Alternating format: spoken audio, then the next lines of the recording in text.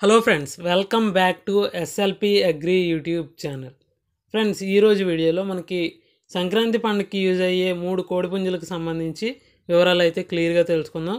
దాంతోపాటు మీకు ఎవరికైనా ఇంట్రెస్ట్ ఉండి ఫ్యాన్సీ బర్డ్స్ అంటే ఈ గిన్నె కోళ్ళు లాంటివి ఎవరైనా పెంచుకోవాలి అనుకుంటే వీళ్ళ దగ్గర అయితే ఒక నాలుగు ఉన్నాయని చెప్పారు. వాటికి సంబంధించిన వివరాలు కూడా క్లియర్గా చూద్దాం.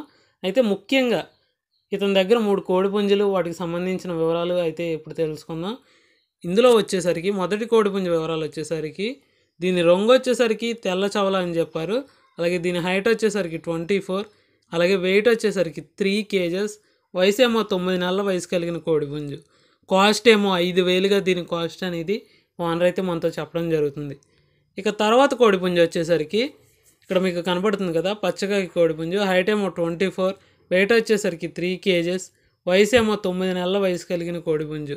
అలాగే కాస్ట్ వచ్చేసరికి నాలుగు వేల ఐదు వందలు. దీని కాస్ట్ అనేది ఓనర్ అయితే మనతో చెప్పడం జరిగింది. తర్వాత వచ్చేసరికి ఇది కూడా చవల మెట్టవాటం కలిగిన కోడిపుంజు హైటమ్ ఇది కూడా ట్వంటీ ఫోర్ ఉంటుంది. వెయిట్ వచ్చేసరికి ఫైవ్ కేజెస్ వెయిట్ అయితే ఖచ్చితంగా ఉంటుందని చెప్పారు. అలాగే దీని కాస్ట్ వచ్చేసరికి పన్నెండు వేలుగా దీని కాస్ట్ అనేది ఓనర్ అయితే మనతో చెప్పడం జరిగింది. దీని వయసు ఏమో సంవత్సరంన్నర వయసు కలిగిన కోడిపుంజు అలాగే హెవీ బాడీ కాస్ట్లో కొద్దిపాటి డిస్కౌంట్ అయితే ఖచ్చితంగా ఉంటుందని చెప్పారు. ఈ కాస్ట్లో డిస్కౌంట్ గురించి కానీ ఏదైనా మీకు డౌట్స్ ఉండి అడగాలనుకుంటే డైరెక్ట్గా ఓనర్ని అడిగారంటే ప్రతిదీ కూడా క్లియర్గా అతనైతే చెప్పగలనని మనతో చెప్పడం జరిగింది. కాంటాక్ట్ నెంబర్ అయితే టైటిల్ మరియు డిస్క్రిప్షన్లో రెండు చోట్ల క్లియర్గా ఇస్తాను. అలాగే ఇతని దగ్గర గిన్నె కోళ్ళు అని మనం మాట్లాడుకున్నాం కదా ఇవి ఒక నాలుగు ఉన్నాయని చెప్పారు. వయసు వచ్చేసరికి ఏడు నెలల వయసు కలిగినవి. ఒక్కొక్కటి పన్నెండు వందలు చొప్పున ఈయనైతే ఇస్తానని చెప్పారు.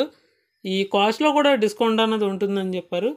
సో మీలో ఎవరైనా ఇంట్రెస్ట్ ఉండి తీసుకోవాలనుకుంటే దీని గురించి కూడా ఒకసారి ఓనర్తో మాట్లాడి చూడండి. ఇక ఓనర్ వివరాలు మనం మాట్లాడుకున్నట్లయితే ఈయన పేరు వచ్చేసరికి వేణు గారు. ఈయనది వచ్చేసరికి విశాఖపట్నం ఏరియాగా చెప్పారు.